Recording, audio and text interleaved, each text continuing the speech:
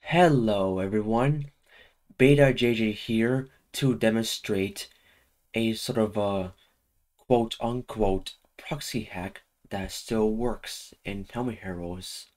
So let's get started. First off, you need to have Charles proxy open, like off here. And you also need what's called Soft Ether VPN. Let me show you what this is this is the program that I pretty much already installed and you need to be connected to a VPN gate relay server. For example I already selected this one so I'm all good. I'm ready to go.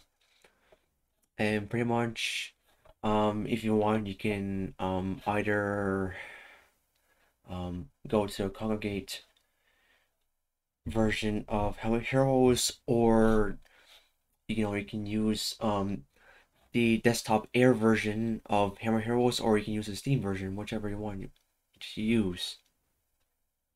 But I'm gonna launch in the desktop air version of it. Let me just go ahead and log in.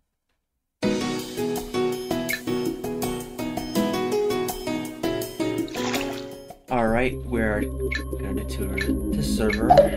By default, it selects main server 1. Now, if you want to go ahead and um, hack into the power server, to make this easier for you, just clear the server current session. Don't worry about this for example. Don't worry about this for now. Um, now click on choose server. Enable your breakpoints. Click confirm. Add a request just type in anything you want here. This, execute, add a response, HTML, then enable the true. Execute. And there we go. We are in just like that. And according to a power server, mind you, there's like nobody on it, so you're pretty much free to use the server.